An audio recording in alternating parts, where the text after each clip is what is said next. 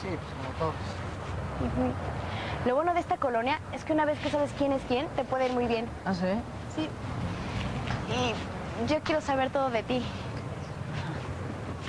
No sabía que te gustara tanto el güerito, ¿eh? Es muy mi problema elegir a mis amistades. Ay, ay, ay, ay, ay, ay. ¡No le hagas daño! ¡Déjalo en paz! ¡Déjelo, por favor!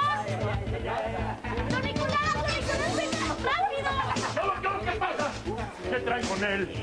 No sean cobardes. ¡Vámonos fuera! Solamente porque se le respeta mucho, don Nicolás. O solamente que por eso sea. Pero órale, Sí, no, muévanse. ya. Muévanse.